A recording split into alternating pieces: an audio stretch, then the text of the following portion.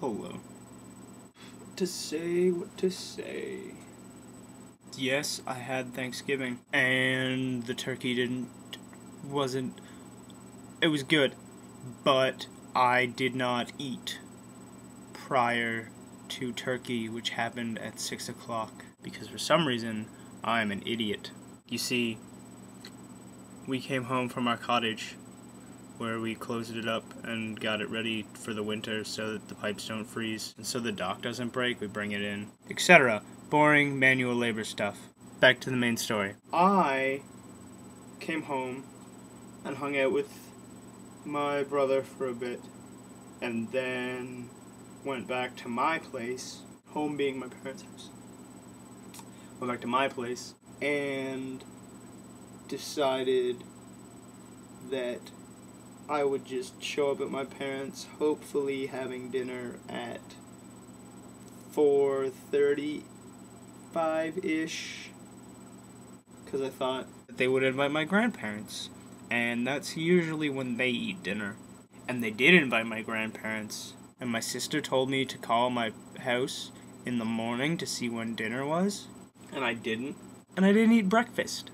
I was going to have macaroni for lunch but lunch would have been at like 1 and lunch would have also been breakfast. And i was like well if i'm having turkey in 3 hours what's the point? Then i decided to drink about a liter of coffee. Don't ask me why i drank a whole liter. I just i do that sometimes. And so i felt like not very good because we didn't have turkey until 6. But the pie afterwards? Delicious. Um, question. How were your Thanksgivings if you live in Canada? And if you don't live in Canada, how was your Columbus Day weekend?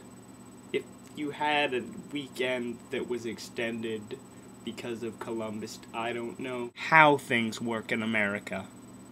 But I do know that you had Columbus Day which means Columbus went and discovered America. Even though people lived there. And the Vikings had been there. And if you don't live in Canada or America, how was your weekend anyway? You probably did stuff. Also, if you have questions for myself, I will gladly answer them as long as they're appropriate and I feel comfortable asking them, there will be a screening process. That screening process will happen up here in my brain. Oh, and subscribe. Have a good week.